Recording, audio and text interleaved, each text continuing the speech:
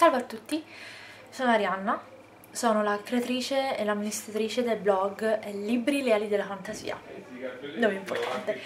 Questo è il primo video che faccio e, sulla scia di tanti e bellissimi video che ho visto di recensioni di libri eccetera eccetera quindi ho deciso, ho preso coraggio ho deciso di eh, fare un video quindi di espandermi visto che ho maglia di grandezza dal, mm, non soltanto sul blog ma anche su mm, su YouTube. Quindi prendendo spunto da Lady Mija, che ha un bellissimo canale qui su YouTube, faccio quelli che sono eh, il video riguardo i libri di marzo, che ho letto durante marzo.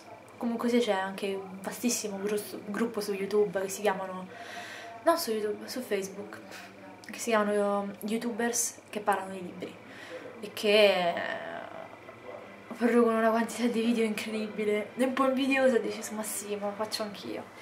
Allora, i libri che ho letto a marzo sono 5 e sono, partendo in ordine cronologico, Monica Lombardi, Three Doors, La vita secondo Sam Bolton. Conosco l'autrice, lo ammetto, sono anche orgogliosa, conosco l'autrice, cioè non è che conosco J.K. Rowling o non lo so, Ken Follett eh, o un altro di questi big, big, big uh, del panorama.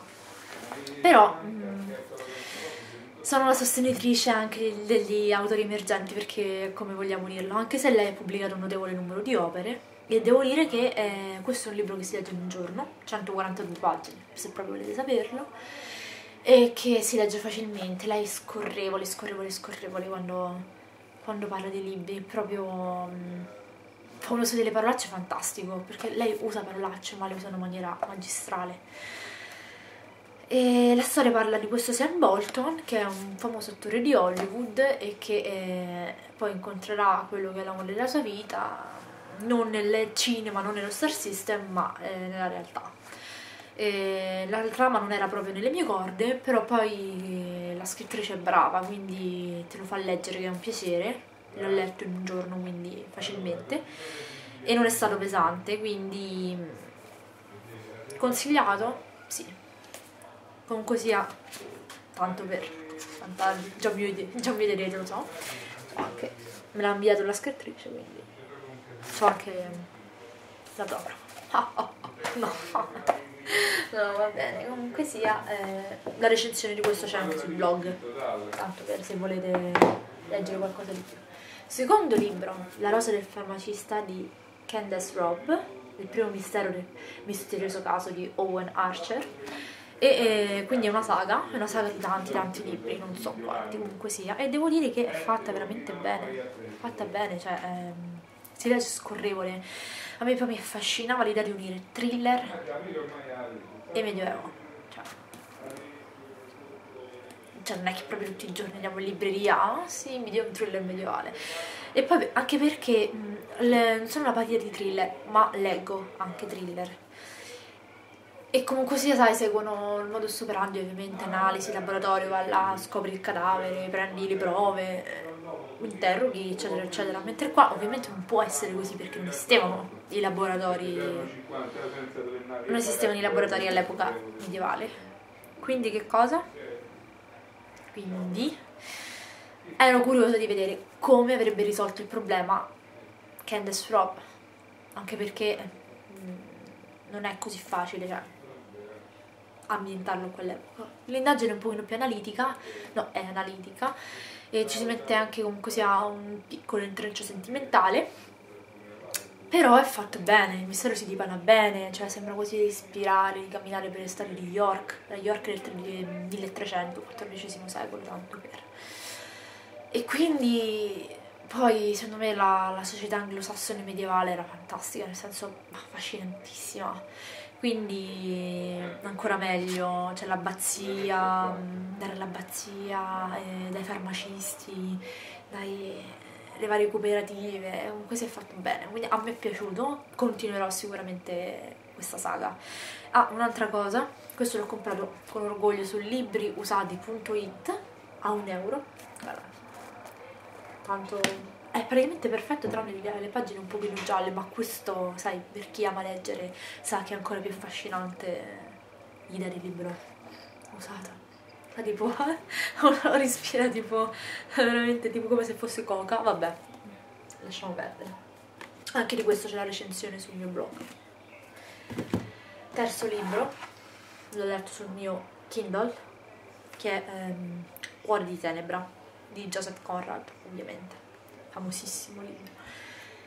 E dire, non voglio essere un'eretica, però questo libro non mi ha fatto impazzire, cioè l'ho studiato per l'università perché faccio varie letterature, tra cui letteratura um, inglese, però um, cioè scritto bene, perché non si può dire che è scritto bene, non si può dire che è noioso, comunque sia questa storia di questo protagonista che racconta la sua avventura mh, mm, dal giovane quando andava a mh, mm, prendere lavoro in Africa, quindi racconta quando era capo di questo battello, eh, poi comunque sia quando ripercorre tutto il fiume all'interno dell'Africa, appunto Cuore di Tenebra, le varie tappe che fa e poi perché ha uno scopo, una missione in realtà.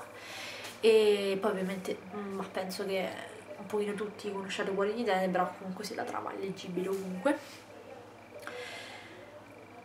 C'è scritto bene, però per me non c'era niente di affascinante che mi affascinasse così tanto da leggere una pagina dopo l'altra. Cioè, sicuramente sembra un'eretica, lo so, lo so, c'è qualcuno che mi dice ma tu, Joseph Conrad, non capisci eh, gente, a me io amo i classici perché se no non, studiavo nemmeno quello che studiavo all'università, se no non, non, avrei fatto quello che faccio, cioè.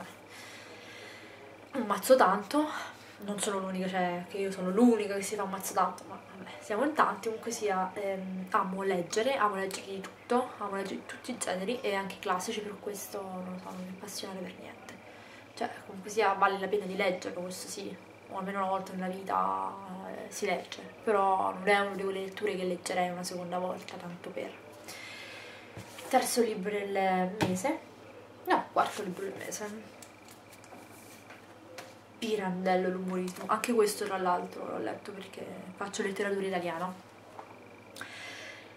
E no, No, no, guarda, non mi è piaciuto per niente questo, cioè, sarò eretica anche in questo caso, però non mi è piaciuto per niente. Cioè, dai, ho, usato, ho fatto un libro per dire ciò che poteva dire in qualche pagina, cioè, vabbè, l'umorismo, eh, se sarò chiaro su quello che cos'è l'umorismo, anche se non è poi così semplice come concetto. Cioè, non è l'umorismo che intendiamo noi masse, noi plebei, come ha più volte sottolineato Pirandello, ma è qualcosa di un po' più particolare. Eh, dello scrittore umorista non è così diffuso, eh, parla proprio de della nascita dell'umorismo, delle radici dell'umorismo, soprattutto nella letteratura italiana, eh, dà una spiegazione un po' articolata di quello che è il termine, eccetera, eccetera, però una noia mortale. Cioè due giorni della mia vita sprecati a leggere questo. Vabbè, andiamo avanti. Move on! Ultimo libro del mese, Stefania Auci, Fiori di Scozia. Tra l'altro ho parlato anche con questa attrice. no, vabbè. Ho parlato anche, ehm, devo dire che l'ho letto spinto soprattutto dal fatto che io amo la Scozia visceralmente. Cioè io sono patita per la Scozia, sono andata 10 giorni in Scozia, me la sono girata tutta in macchina con dei miei amici, proprio on the road. Eh, ed è stata fantastica, bella, lo spirito, cioè spettacolare. E quindi eh, sono l'altro la mia saga preferita, il mio libro preferito è La straniera di Diana Gabaldon che è inventato nella Scozia nel 1745, almeno all'inizio perché poi in Italia siamo a 13 libri, quindi cioè tanto, eh, si, si, percorrono vari decenni, eh, che dire, questo è ambientato nello stesso periodo all'inizio della Gabaldon del 1745, la battaglia degli scozzesi inglesi, Culloden, se si dice così. E mm, quindi volevo leggerlo, volevo leggerlo perché tutto ciò che ha una storia ambientata in Scozia per me devo prenderlo. Infatti ho preso anche un libro, sempre un bel bookstore, si chiama Sognando le aquile di Mandy Scott, sempre ambientato in Scozia. Guardo lì perché è lì che è il libro. E vedremo. Comunque sia concludendo con questo dico che non mi ha entusiasmato. Cioè è scritto bene la storia di questi due innamorati che devono superare questo ostacolo della guerra. Poi ci sarà eh, qualcuno a mettersi in mezzo. Ovviamente l'antagonista cattivo c'è sempre. Però quello che manca per me è la Scozia cioè per me potrebbe essere ambientato, non so, Parigi, potrebbe essere ambientato in Irlanda, Islanda, qualsiasi altro paese, sarebbe stato uguale.